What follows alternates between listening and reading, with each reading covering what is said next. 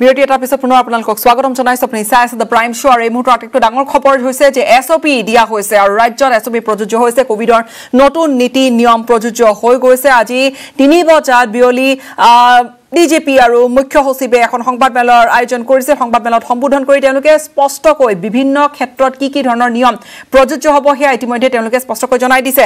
পোনে পোনে সংযুক্ত হৈছো গৌতম বৰাৰ সৈতে আমাৰ সাংবাদিক যোৰহাটৰ পৰা যোৰহাটৰ পৰা গৌতমৰ সৈতে সংযুক্ত হৈছো আৰু লগতে বিপুল বৰ্মন আমাৰ জ্যেষ্ঠ সাংবাদিক আছে গুৱাহাটীৰ পৰা। গৌতম কিমান হৈছেগৈ আক্ৰান্তৰ সংখ্যা? প্ৰথমে যদি সেয়া জানো আৰু ক'ৰবাত নতুনকৈ যিধৰণে পূৰ্বতে আমি দেখিছিলো কভিড কেয়াৰ চেণ্টাৰবোৰ তৈয়াৰ কৰা হৈছিল বা তেনেকুৱা বিশেষ ফেচিলিটি তৈয়াৰ কৰা হৈছিল এইবাৰ যোৰহাটত কিবা তেনেকুৱা ব্যৱস্থা কৰা হৈছে নেকি? নেকি হয় নিশ্চয়কৈ গীতাশ্ৰী মই প্ৰথমে এটা কথা জনাই ল'ব বিচাৰিছোঁ যে মই বৰ্তমান নিজৰ ঘৰৰ চৌহদৰ ভিতৰত আছোঁ আৰু সেইবাবে মই মাস্ক পৰিধান কৰা নাই। আৰু সকলোকে আহ্বান জনাইছোঁ যে মাস্ক পৰিধান কৰক আৰু এইবাৰ যিহেতু দ্বিতীয়টো ঢৌ আহিছে সেই ঢৌ ঢৌৰ যি কৰোণা ক'ভিড নাইণ্টিনৰ ভাইৰাছ সেই বতাহত ভাহি থাকে আৰু মাস্ক পৰিধান কৰাটো অতিকৈ অপৰিহাৰ্য বুলি ইতিমধ্যে বিবেচিত হৈছে। আৰু যোৰহাটত গীতাশ্ৰী ইতিমধ্যে বহু পৰিমাণে জৰিমনা বিহা হৈছে যিসকল লোকে মাস্ক পৰিধান নকৰে। আৰু তাৰ লগতে মাস্ক যোগানো ধৰা হৈছে অৰ্থাৎ যিসকল লোকৰ ক্ৰয় কৰাৰ সামৰ্থ্য নাই তেওঁলোকৰ মাস্কৰ যোগানো ধৰা হৈছে। আৰু আজিৰ দিনটোত যোৰহাটত আক্ৰান্তৰ সংখ্যা হৈছে ছয়ত্ৰিছগৰাকী আৰু আজিৰ দিনটোত যোৰহাটত বৰ্তমান ক'ভিড নাইণ্টিন পজিটিভ কেছৰ সংখ্যা হৈছেগৈ দুশ পঁয়ত্ৰিছগৰাকী আৰু সুখৰ বিষয়টো হৈছে যে ইয়াৰ অধিকাংশই হৈছে এ চিমটমেটিক অৰ্থাৎ তেওঁলোকৰ শৰীৰত কোনো ৰোগৰ লক্ষণ নাই। আৰু দ্বিতীয়তে যোৰহাটৰ জিলা প্ৰশাসন তথা স্বাস্থ্য বিভাগ ইতিমধ্যে সাজু হৈ আছে। জি এম চি এইচত পূৰ্বৰ দৰে যিখিনি ইনফ্ৰাষ্ট্ৰাকচাৰ আছিলে যে তাত পঞ্চাছখনলৈকে আই চি ইউ বেডৰ সুবিধা আছে। আৰু এটা সুখৰ বিষয় হৈছে যে বিগত বৰ্ষত যেতিয়া ক'ভিড নাইণ্টিনৰ পৰিস্থিতিয়ে তাণ্ডৱ চলাইছিলে সেই সময়তে জে এম চি এইচৰ এটা অক্সিজেন প্লেণ্ট নিৰ্মাণ কৰা হৈছিলে আৰু তাৰ পৰা জে এম চি এছৰ সকলো ৱাৰ্ডৰ সকলো বিচনালৈকে অক্সিজেন যোগান ধৰিব পৰা ব্যৱস্থা আছে। গতিকে কোনো লোক যদি আক্ৰান্ত হয় তেনেহ'লে আই চি ইউৱে নহয় তাৰ প্ৰতিখন বেডতে থকা বিচনাতে থকা ৰোগীসকলক অক্সিজেন যোগান ধৰিব পৰাকৈ তাত আন্তঃগাঁথনি ইতিমধ্যে সাজু হৈ আছে। আৰু তাৰ বিপৰীতে যদিহে প্ৰয়োজন হয় তেনেহ'লে যোৱাটো উপায়ুক্ত আজি আমাক জানিবলৈ দিছে যে আন কোনো স্থানত অৰ্থাৎ নবৰা চুকত যোৰহাটৰ যিখন স্বাস্থ্য কেন্দ্ৰ আছে বা তিতাবৰত যিখন ফাৰ্ষ্ট ৰেফাৰেল ইউনিট আছে তাত অস্থায়ী ৰূপত পুনৰ ক'ভিড হস্পিটেল নিৰ্মাণ কৰা হ'ব পাৰে কিন্তু সেইটোত নিৰ্ভৰ কৰিব আক্ৰান্তৰ সংখ্যাৰ ওপৰত।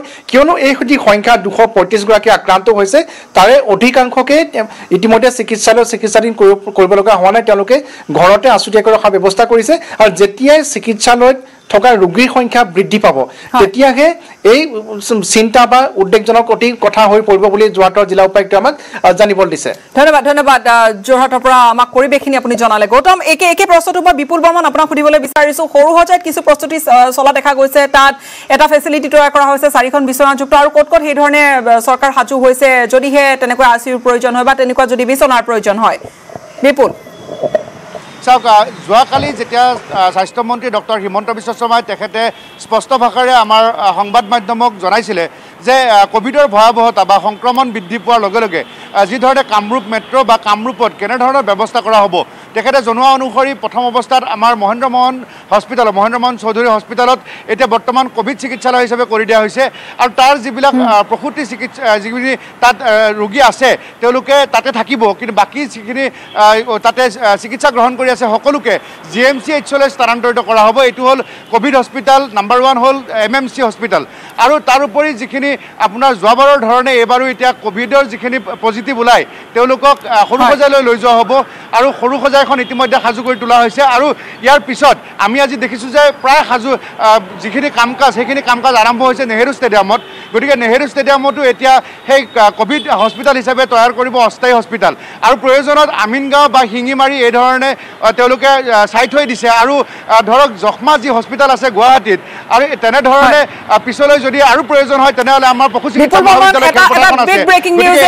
আমাৰ হাতলৈ আহি পৰিছে। খন্তেক পিছতে দেশবাসীক সম্বোধন কৰিব প্ৰধানমন্ত্ৰী নৰেন্দ্ৰ মোদীয়ে। আৰু কিছু সময় আঠ বাজি পঞ্চল্লিছ মিনিটত দেশবাসীক সম্বোধন কৰিব প্ৰধানমন্ত্ৰীয়ে। কৰোণাৰ শেহতীয়া পৰিস্থিতিক লৈ সম্বোধন কৰিব প্ৰধানমন্ত্ৰী। প্ৰধানমন্ত্ৰীয়ে দেশবাসীক দেশত কৰোণাৰ দ্বিতীয়টো ঢৌৰ ভয়াৱহ ৰূপ দেখা গৈছে আৰু তাৰ পিছতে আহ, প্ৰধানমন্ত্ৰী কালিও ভেকচিন মেনুফেকচাৰৰ সৈতে এখন বৈঠকত মিলিত হৈছিল। কালি এটা গুৰুত্বপূৰ্ণ সিদ্ধান্ত লৈছিল। কি ধৰণে? এক মে'ৰ পৰা ওঠৰ বছৰৰ ঊৰ্ধৰ সকলোকে ভেকচিন দিয়া হ'ব।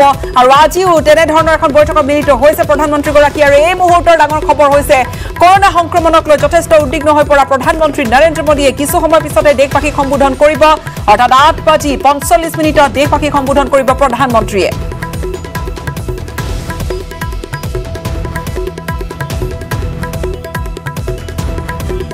সময়খিনিত এটা চমু বাণিজ্যিক বিৰতিৰ সংক্ৰমণ ৰোধৰ বাবে ৰেল ষ্টেচনত হস্তম হৈ আছে আৰক্ষী তথা প্ৰশাসনৰ লোক। কিন্তু ৰেল ষ্টেচনৰ বিপৰীতে আন্তঃৰাজ্যিক সীমান্তত নাই কভিড পৰীক্ষা কেন্দ্ৰ। যাৰ ফলত আন্তঃৰাজ্যিক সীমান্তৰে বহিৰাজ্যৰ পৰা অহা লোকৰ হোৱা নাই কভিড টেষ্ট।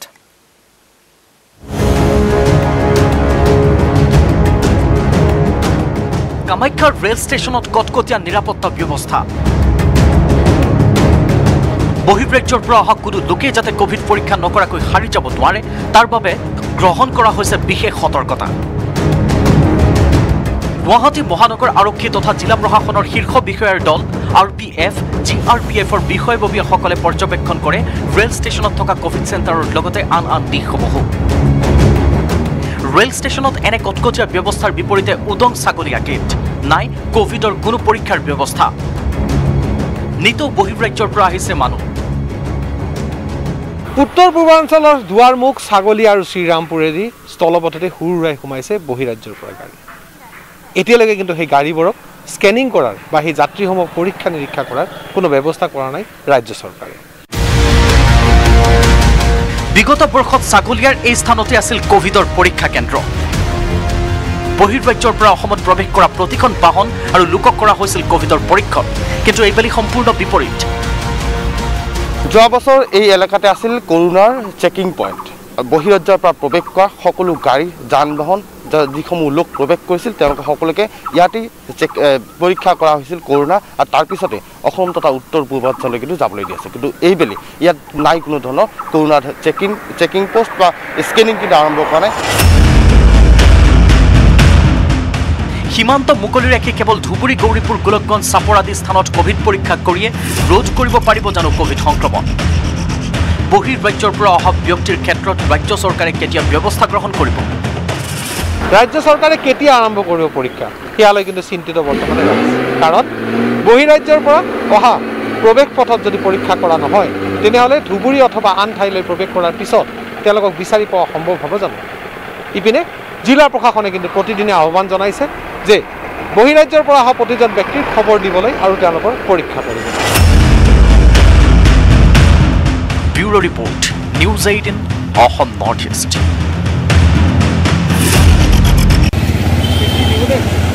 দুপৰীয়াৰ পৰা পোনপটীয়াকৈ সম্প্ৰচাৰ পোনপটীয়া সম্প্ৰচাৰত সংযুক্ত হৈছো আমাৰ সাংবাদিক জ্যোতিৰ্ময় চক্ৰৱৰ্তীৰ সৈতে। জ্যোতিৰ্ময় এই প্ৰতিবেদন আপুনি দেখুৱাইছে কি ধৰণে উন্মুক্ত হৈ আছে বা কি ধৰণৰ পৰিৱেশ এই মুহূৰ্তত কালিও আপুনি সেই সেই প্ৰসংগটো উত্থাপন কৰিছিল। এই মুহূৰ্তত আটাইতকৈ ডাঙৰ প্ৰশ্নটোৱে হৈছে যে আচলতে কিয় যোৱাবাৰৰ দৰে তাত স্ক্ৰিনিঙৰ ব্যৱস্থা সেই ধৰণে কৰা হোৱা নাই?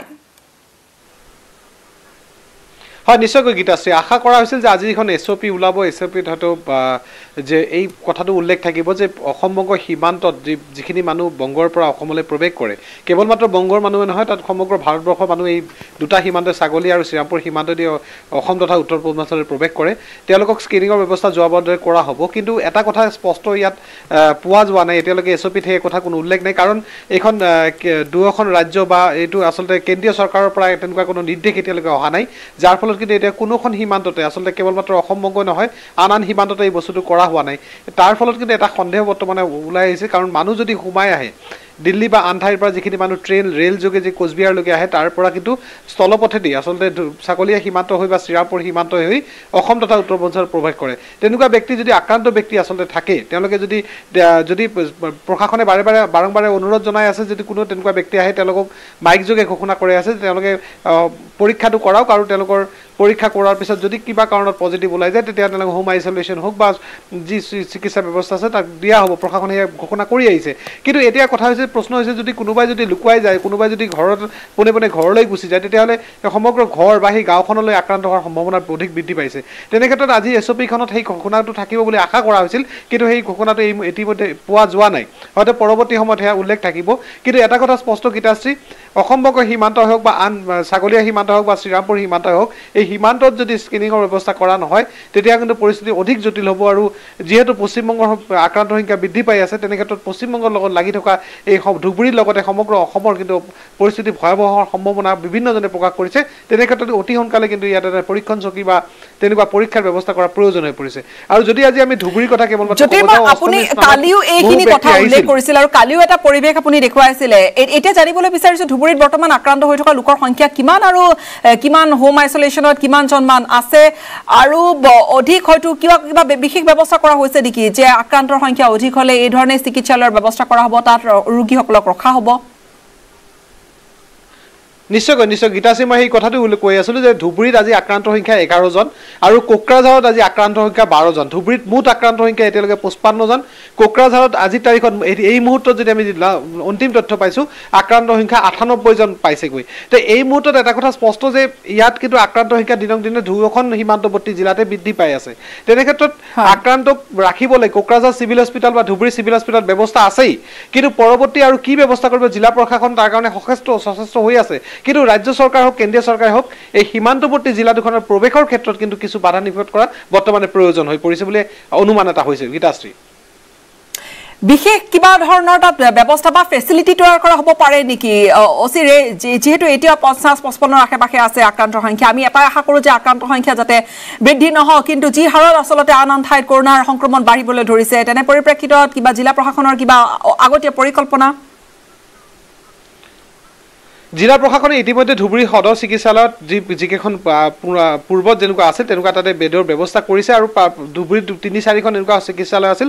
যোৱাবাৰে যে ক'ভিড হস্পিটেললৈ ৰূপান্তৰ কৰা হৈছিল যেনেকৈ কিস্মত হাজদা হস্পিটালে হওক গোলকগঞ্জ হস্পিটাল হওক আগমনি হস্পিটাল হওক তেনেকৈ ক'ভিড হস্পিটাললৈ ৰূপান্তৰ কৰা জিলা প্ৰশাসনৰ ব্যৱস্থা আছে। জিলা প্ৰশাসনত আমি যে যোগাযোগ কৰিছিলোঁ তেওঁলোকে কৈছে আমি ৰেডি আছোঁ যদি তেনেকুৱা যদি ৰোগীৰ সংখ্যা বৃদ্ধি পায় তেতিয়াহ'লে আমি ব্যৱস্থা কৰিম। কিন্তু গীতাশ্ৰী এটা কথা বৰ্তমানে যিখিনি এটা সুখৰ কথা এইটো বৰ্তমানে যিখিনি ৰোগী আক্ৰান্ত হৈ আছে তাৰ ভিতৰত মাত্ৰ পাঁচ ছজনহে তেনেকুৱা চিমটমেটিক হয় তেওঁলোকক চিকিৎসা দিয়া হৈছে বাকীখিনি কিন্তু বৰ্তমানে হোম আইচলেশ্যন আছে। তেনে ক্ষেত্ৰত এই মুহূৰ্তত বেডৰ প্ৰয়োজন নহ'লেও আগন্তুক দিনত বেডৰ প্ৰয়োজন হ'ব তাৰ কাৰণে কিন্তু জিলা প্ৰশাসন তেওঁলোকৰ ব্যৱস্থা ইতিমধ্যে লৈছে। ধন্যবাদ ধন্যবাদ জ্ঞাপন কৰিছো। বা আমাক অধিক জনালে ধুবুৰী সম্পৰ্কে বিশেষকৈ সীমান্তৰ কথাটো বা আন্তঃৰাজ্যিক সীমান্তৰ কথাটো আপুনি টানি আনি যিখিনি উল্লেখ কৰিছে যে তাত কি ধৰণে আচলতে ব্যৱস্থা পূৰ্বতে দেখা গৈছিল কিন্তু তাৰ পিছত আচলতে এতিয়া উন্মুক্ত হৈ থকাক লৈ বিভিন্নজনে কিছু উদ্বিগ্নতা ব্যক্ত কৰিছে। ধন্যবাদ জ্যোতিৰ্ময় আমাক সবিশেষ আপুনি জনালে। এতিয়া আন কিছু প্ৰসংগলৈ আহিছো। আজি এখন গুৰুত্বপূৰ্ণ বৈঠকো অনুষ্ঠিত হৈছিল। দেশত কৰোণা মহামাৰীৰ দ্বিতীয়টো ঢৌৰ ভয়াৱহ ৰূপৰ পিছতে প্ৰধানমন্ত্ৰীয়ে আজি ভেকচিন প্ৰস্তুতকাৰীসকলৰ সৈতে বৈঠকত মিলিত হৈছিল। এই খবৰ লৈ আহিম এটা বিৰতিৰ পিছত।